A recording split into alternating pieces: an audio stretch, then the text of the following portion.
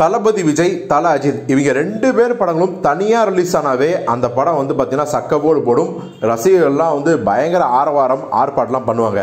ஆனால் ரெண்டு பேரோட படங்களும் ஒரே நாளில் மோதிச்சுன்னா கேட்கவே தேவையில்லை. ரசிகர்கள் சண்டை அது சோசியல் மீடியா இருந்தாலும் சரி நேர்லேயே இருந்தாலும் சரி அதுவும் அதிகாலை காட்சி யாருக்கு நள்ளிரவு காட்சி யாருக்கு அப்படின்னு போட்டியில் ஆரம்பித்து ஏகப்பட்ட பஞ்சாயத்துகள் கொலை வரை முடிஞ்சிருக்கு.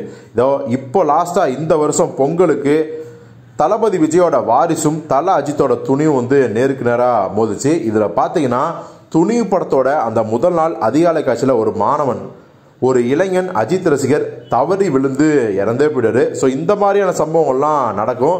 இப்போ மீண்டும் தளபதி விஜயும் தல அஜித்தும் மோத போகிறாங்க அது என்னென்ன படம்னு நான் சொல்லி உங்களுக்கு தெரிய வேண்டியதில்லை. இந்நேரம் தெரிஞ்சிருக்கும். ஏன்னா வெங்கட் பிரபு இயக்கத்தில் நம்ம தளபதி விஜய் அவர்கள் நடிக்கிற படம் தான் தளபதி சிக்ஸ் எயிட்.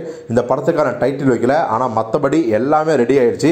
விரைவில் ஷூட்டிங் போக போகிறாங்க இந்த பக்கம் பார்த்தீங்கன்னா லைக்கா தயாரிப்பில் நம்ம மகிழ் திருமணி இயக்கத்தில் அஜித் விடாமுயற்சி படத்தோட ஷூட்டிங்க்கு ரெடி ஆயிட்டாரு.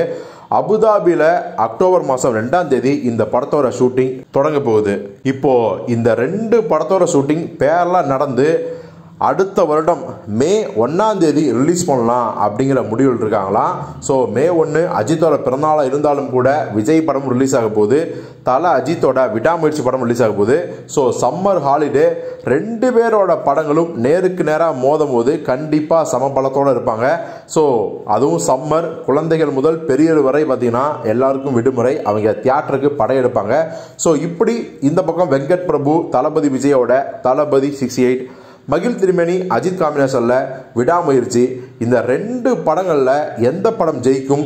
ஜெயிப்பது அஜித்தா விஜயா மகிழ் திருமேனியா வெங்கட் பிரபுவா உங்கள் எதிர்பார்ப்பு என்ன? அப்படிங்கிற விஷயத்தையெல்லாம் கமெண்டில் சொல்லுங்கள்